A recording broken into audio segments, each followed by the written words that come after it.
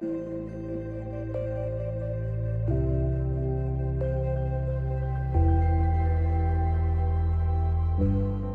Astro Kids, and welcome back. And this is your daily horoscope for March 18th, 2022. And this is our full moon day if you're here on the East Coast.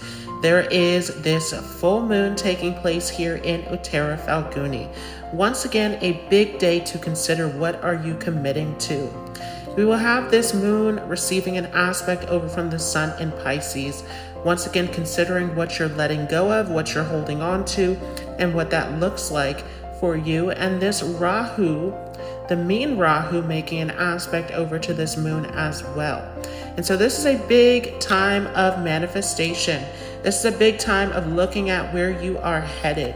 The card that comes up for today is the temperance card in reverse. So once again, this is a big time to look at what are you holding on to, what are you not holding on to. There is a huge focus here that is on not giving up on yourself and what you need to support yourself, but letting go of what is not serving you.